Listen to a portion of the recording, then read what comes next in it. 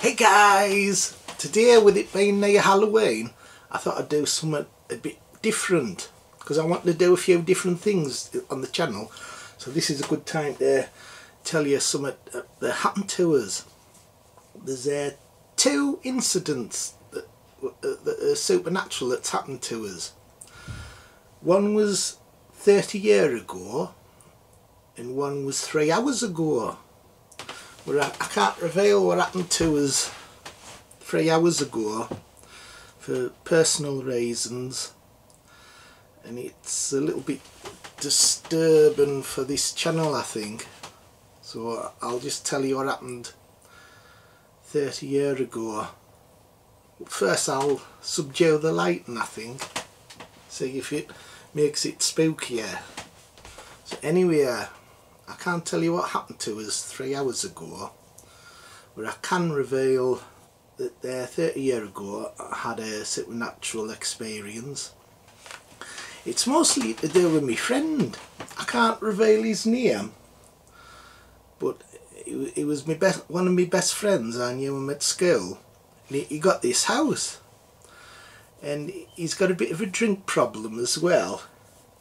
So used to go on about his house being haunted and everyone naturally thought it was bullshit that he was drunk and everything.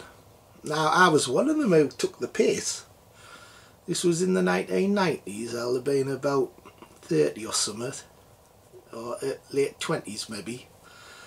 Uh, I'll have been about 21 anyway I, I used to take the piss out of him as much as anyone else but I thought he was just making it up for attention, making on his house was haunted and stuff. He used to go on saying the cutlery rattled and he kept there uh, saying things. I visited him one day. I remember it was during the summer as well. It was bright daylight, thank God. I'm glad it wasn't night time when this happened. Where I visited him and we were sat in his sitting room just there. Uh, think we were having a drink, I can't remember. Uh, or he could have been playing with his Sega.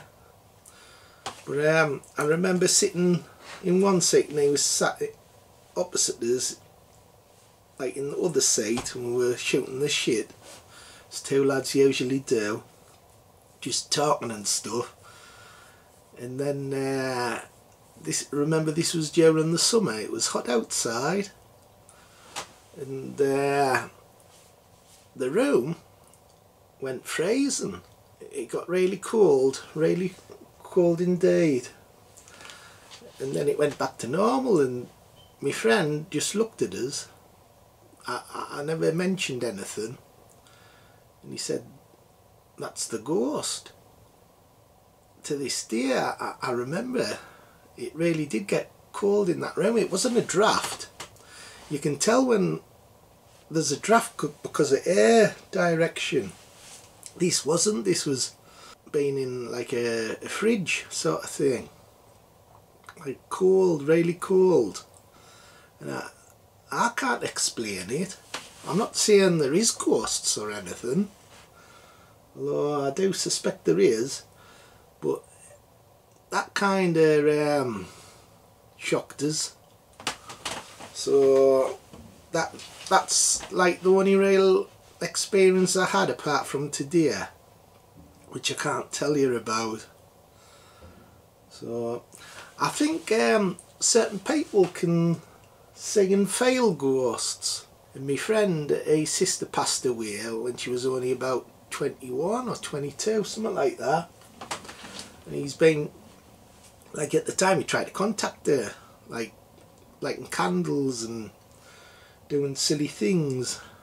He once said he saw her, like with wings, like an angel.